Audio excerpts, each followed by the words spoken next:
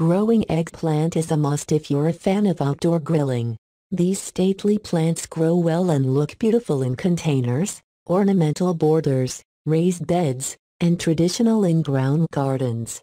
Small fruited varieties tend to be especially heavy bearers, and you can expect to pick a dozen or more from each Ichiban plant over the summer in warm climates.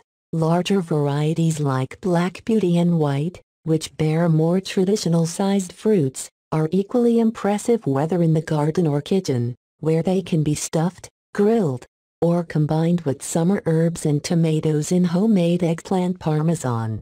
Soil, planting, and care. Eggplant loves warmth and grows best in very sunny, well-drained locations. Raised beds that have been generously enriched with composted manure are ideal, but any fertile soil with a pH from 6.3 to 6.8 will satisfy the plants. Although their coarse, leathery leaves withstand hot weather in champion style, provide a generous mulch of hay, shredded leaves, or other biodegradable material beneath plants to keep the soil relatively cool and to hold moisture and keep down weeds. Because eggplant really needs warm soil to grow well, gardeners in cool climates often do best growing the plants in large, dark-colored containers. On a sunny day, soil temperatures inside black pots may be 10 degrees or more higher than in ground soil temperatures. Row covers are also a good option in cool climates, or even to protect plants from cool spells in warm climates. Open the ends of the row covers on warm days to let the bees reach the flowers for help with pollination. Eggplants grow into tall, angular plants, so they should be spaced 24 to 36 inches apart. Fertilize planting holes by mixing in a balanced timed release or organic fertilizer, following the rates given on the label. At the same time, mix in 2 inches of compost to help hold moisture and fertilizer in the soil. Set plants at the same depth at which they are growing in their containers, and water well before spreading mulch. To keep plants healthy and well fed, give them a liquid plant food. In the case of a late cold spell, you may need to delay planting seedlings until cool weather passes. Should this happen, keep the plants in a sheltered, sunny spot outdoors during the day, and bring them indoors at night. Be sure to keep plants watered or they will be small and bitter.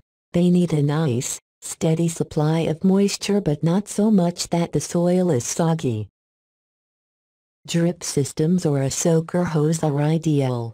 Eggplants are prone to falling over when loaded with fruit, so you may want to tie plants to stakes to keep them upright. If you drive a stake into the ground just an inch or two from the plant at the time of planting, you won't disturb the plant by trying to do it later. You can also use small tomato cages to support the plants. Troubleshooting The tiny, Black flea beetle is by far the worst nemesis of eggplant, but big, healthy plants usually produce well despite tiny leaf holes made by lots of flea beetles. In some areas, a common soil-borne fungus, verticillium wilt, can cause lands to wilt and die. Where verticillium is a common problem with non-resistant tomatoes they are close eggplant cousins, Grow eggplants in containers filled with premium potting mix. Harvest and storage. Fruits can taste bitter if picked when underripe or overripe, so harvesting is part of the eggplant grower's art. A perfect fruit will stop growing larger, have a glossy skin, and show a sprinkling of soft, well-formed yet immature seeds when you slice it open. Fruits with no visible seeds are immature, and hard, dark seeds are found in overripe eggplants. Use pruning shears to harvest fruit with a short stub of stem attached, because the fruits will not pull free by hand. Rinse clean, pat dry, and store in the refrigerator for several days. Eggplant discolors rapidly when cut open, so work quickly when preparing slices or skewers for grilling. Marinades that include salt, vinegar, and or lemon juice will keep cut pieces from darkening.